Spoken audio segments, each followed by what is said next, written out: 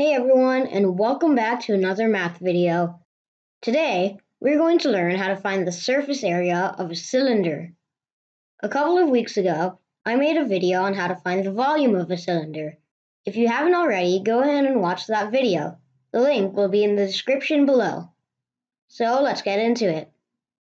First of all, we have to learn what the surface area of a three-dimensional shape is. The surface area is the area on the surface of a shape covering the volume. Now, let's make an equation that we can use as a formula.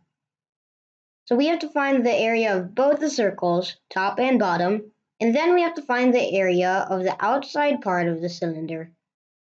For the circles, we could just use pi r squared to find the area. However, for the area around the volume, it's going to be slightly more complicated. First, we have to find the circumference of the circle, then multiply that by the height. Now that you got the area of both circles and the area around, what you need to do is add all of those values to find the surface area.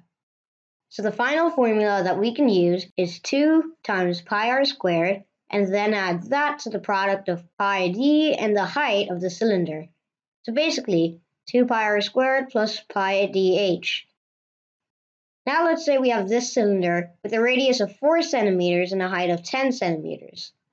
First, we have to solve 2 pi r squared. The radius is 4, so the radius squared is 16. 3.14, which is what we're using as pi, times 16 is 50.24. Multiply that by 2 to get 100.48. Now we have to find the surface area of the area surrounding the volume. In order to do that, we have to solve pi times the diameter and then multiply that by the height. Since the radius is 4, the diameter is 2 times that, which is 8. 3.14 times 8 is 25.12. 25.12 multiplied by the height, which is 10, is 251.2.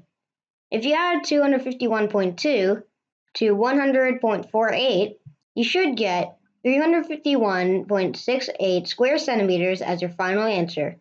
The reason it's squared instead of cubed is because this is the surface area. If it was a volume, then it would be cubed.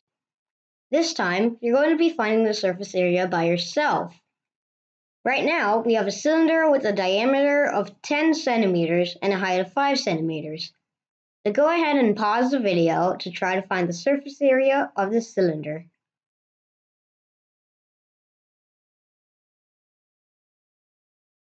Okay, now let's go over it. First, we have to find the area of the circles. Since the diameter is 10, the radius is 5.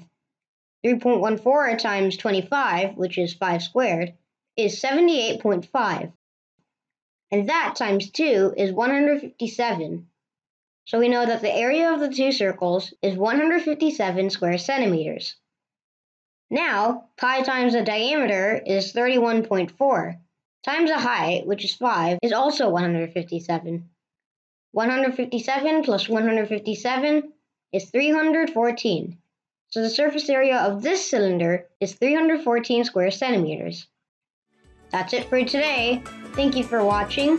Hopefully you learned something new, and I'll see you in the next video.